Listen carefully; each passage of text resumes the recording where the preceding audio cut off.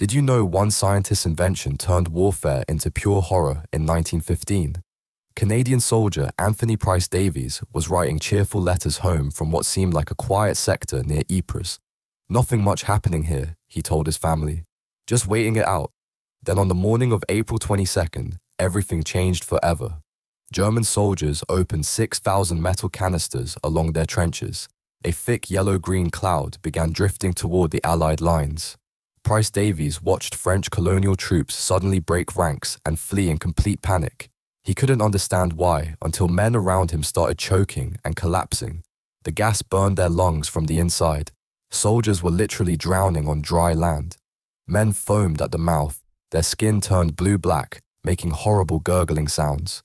Military order completely collapsed as troops ran in terror from the invisible killer. 5,000 casualties in the first chlorine gas attack. Three days later, the scientist's wife, Clara, shot herself, horrified by what her husband, Fritz Haber, had unleashed on the world.